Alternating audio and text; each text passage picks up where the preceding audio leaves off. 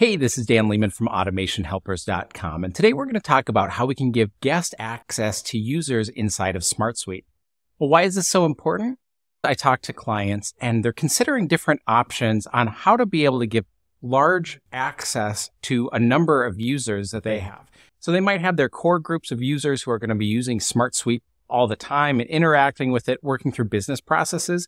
And then oftentimes they have outside users. It might be contractors or temporary users that are coming in and coming out, and they don't want to give that same kind of full access. It could also be that they have stakeholders inside of the organization. Maybe there's a manager in a different department, and it would be helpful for them to see some of the data, but they don't really need to interact with it. They don't need to actually update records and create new records. Now, I used to work at a couple of CRM companies, and this is something that clients would come to us all the time and say, Hey, you know, we understand that, that you're selling this on a per user per month kind of basis, but we've got some of these users that really just need a very limited view into things. How can you help us out? And oftentimes it was really hard for these companies to be able to provide some kind of access because they're incentivized to try to up the license counts as much as they can.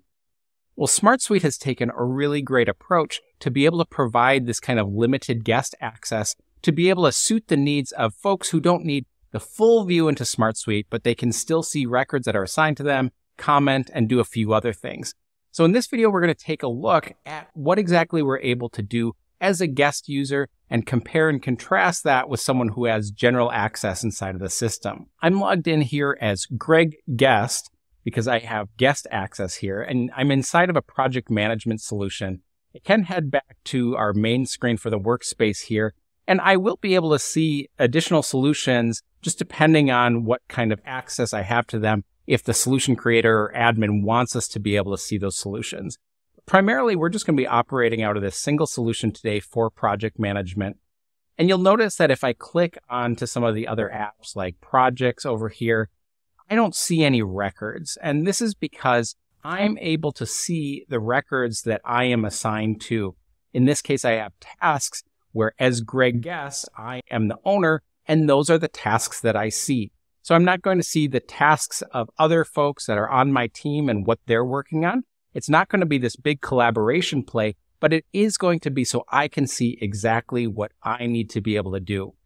I'll have the ability to be able to open up a record and I can view all of the values associated with it. However, you'll notice that I can't actually click on or edit these. In this case, because I haven't been given access to the project, I can't even see the linked project itself here, but I can see any comments and activity history. I can see what's happened here. In fact, let's check out one that has a comment. Click on this record and notice that Julie General, I bet you can guess her name, General Access Julie, assigned me a comment and she asked me a question about the blocker on this. And this is where I think the real value is for these guest access users is that you can actually use the conversation feature. So it's not just that someone can tag you, but I could tag other people and leave a response to Julie. Now, this is perfect if we have folks, you know, maybe I'm an overflow worker. I'm kind of brought in to take on some additional capacity. I can't update the status of the task myself, but I could go ahead and ping Julie and say, Hey, here's where I'm stuck. I'm actually done with this task. Go ahead and close it out.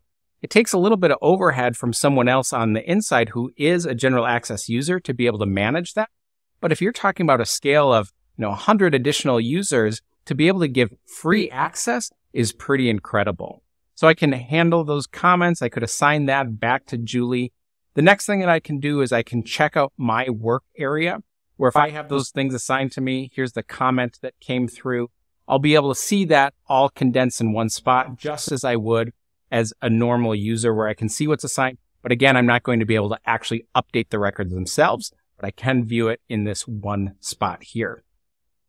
Other things that I can do, I can take a look at any items that have been favorited. So I can favorite a view or I could open up a record and favorite that record. And anything that I favorite is going to show up inside of my starred items here. So if I'm working across multiple apps and solutions, it makes it easy for me to be able to find that. Same thing with the power search function over here. I can search for uh, records And just remember that this is going to show that subset of items that belong to you. I'm not going to be able to see other records that aren't assigned to me throughout the system. Let me close out of here and let's just pop open another record again. You'll notice if we are interacting with other users like this Julie General, we can go ahead and view their profile. And this is another collaborative workspace type environment. If I'm working with a team, especially if I'm a contractor and I don't know everybody, it's really helpful to be able to see their profile information, what's associated with them, so that I can get a better understanding of who exactly that I'm working with. Now, speaking of this Julie General, let's go ahead and contrast the access of what I'm seeing as Greg Guest with my guest access and see what a general user would see inside of the system. All right, now I've logged back in and I am Julie General. I have general access. You'll notice that I'm in the same exact project management solution and I'm looking at tasks, but I'm able to see tasks across multiple owners. So I see both Greg's and mine. I can see those projects before, whereas Greg couldn't because he wasn't actually assigned on the project. And in general, I'm going to be able to get access to different things in the system that Greg wouldn't be able to. I'll be able to create a brand new record. I will be able to edit and update existing records. So I can do everything that Greg was able to do plus more on top of it. And the nice thing is, is that we can get even more granular with the permission. All right. I'm now logged in as a third user. This is my user account as an admin inside of the system.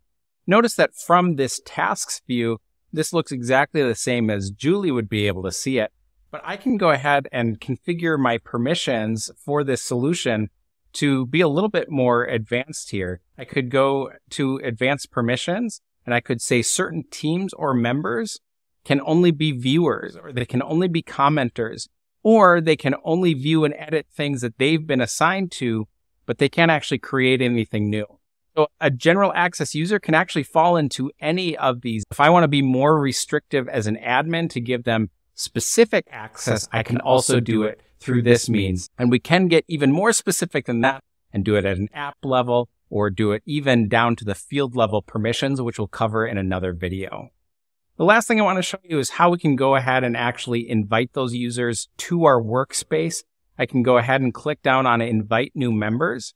Can invite folks by their email address.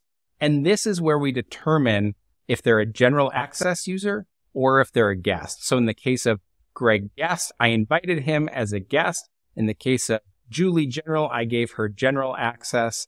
And this select member type doesn't actually have anything to do with their permission set. This is just so that you can see where they exist inside of the organization.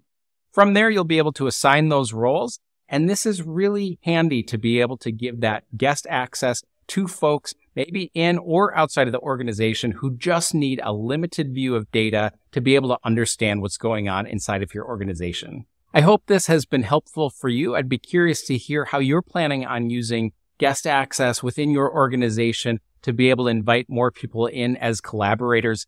Of course, if you have any questions, feel free to reach out to us at automationhelpers.com, where we're offering a free 30 minute consultation to help you get your SmartSuite implementation off the ground.